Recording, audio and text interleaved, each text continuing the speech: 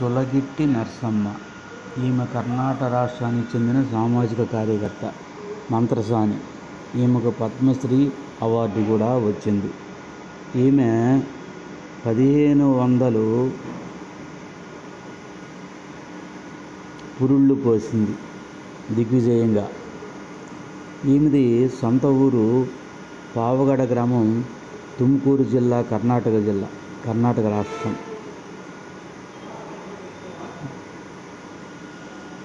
గౌరవ డాక్టరేట్ కూడా రెండు వేల పద్నాలుగులో వచ్చింది. పద్మశ్రీ బిరుదు రెండు వేల పద్దెనిమిదిలో వచ్చింది.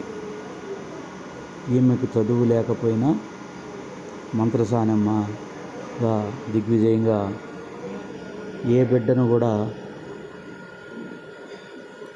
మరణం లేకుండా వారికి ప్రసవం చేయించింది. Hats off to Sulagitti Narsamma.